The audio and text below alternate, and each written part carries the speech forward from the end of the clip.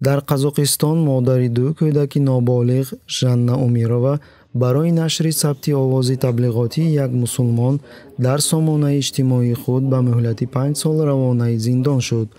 Сокини сию чорсолаи шаҳри капшагаяи вилояти алмаато ба назди шавҳараш ки дар зиндон бисту панҷ сол барои иштирок дар ҷунбиши исломӣ адои ҷазо менамуд зуд зуд хабаргирӣ мерафт ки сабаби дар зери назорати хадамоти махсуси қазоқистон гаштааст.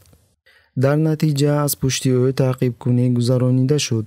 Дар курсии айбдоршаванда нишастани умирова пас аз ошкор шудани нашри ӯ дар сомонаи иҷтимоӣ сабти овози таблиғотгари мусулмон саид бурятский муқаррар шуд.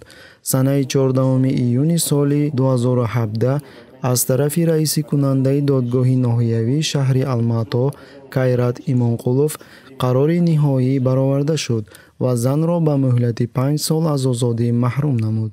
Ғайр аз ин қарори додгоҳ дар назди прокурор хонда шуд вале ҳимоятгар ки айбдоршаванда умироваро ҳимоят мекард дар хонда шудани қарор иштирок накард ҳимоятгар дар мурофиаи судӣ ва дар охирин сухангӯӣ кардани айбдоршаванда низ иштирок накарда буд. Жанна умирова дар шаҳри капшагай бо ҳамроҳи модари 65солаи бемор ва бо ду кӯдаки ноболиғ зиндагӣ мекард. Акнун бошад кӯдакони ноболиғ дар дасти модаркалони бемор мондаанд